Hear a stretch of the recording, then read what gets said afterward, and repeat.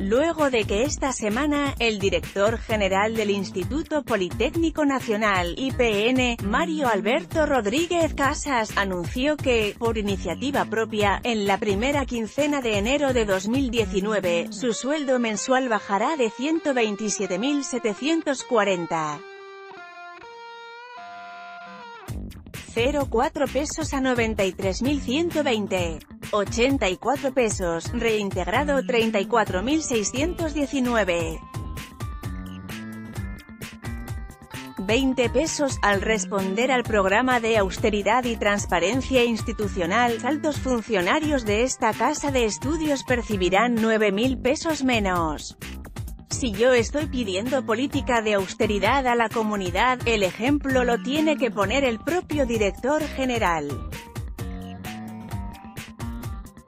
De esa manera, los puedo motivar a economizar en gastos innecesarios, expuso Rodríguez Casas en la reunión de trabajo de la Junta de Coordinación Política con la Asociación Nacional de Universidades de Educación Superior, ANUIES, en la Cámara de Diputados. El pago de la renta mensual de su teléfono celular también saldrá de su sueldo y el uso del chofer para sus traslados será únicamente para eventos institucionales y no particulares.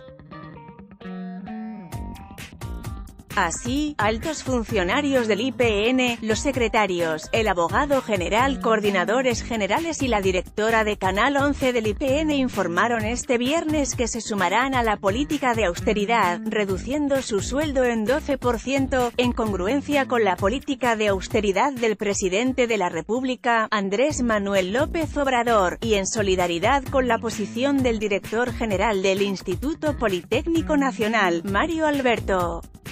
Rodríguez Casas, de reintegrar el 37,18% de su salario a partir de la primera quincena de enero de 2019, lo que representa 34.619,20 pesos, los secretarios, el abogado general, coordinadores generales y la directora de Canal 11 del IPN, acordaron reducir también su sueldo mensual neto en 12%, lo que representa un promedio de 9.000 pesos al mes. Con hechos, el Politécnico reitera su compromiso con la austeridad, la transparencia y la rendición de cuentas, como pilares en el ejercicio presupuestal y la labor académica, manifestaron a través de un comunicado.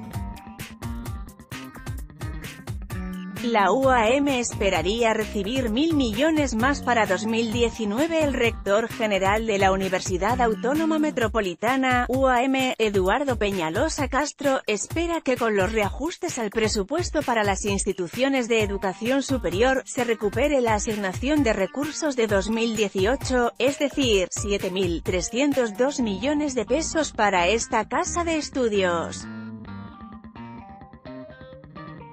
Sin embargo, el Colegio Académico de la UAM estima en 8.253 millones de pesos los recursos suficientes para el próximo año para operación de sus cinco unidades académicas.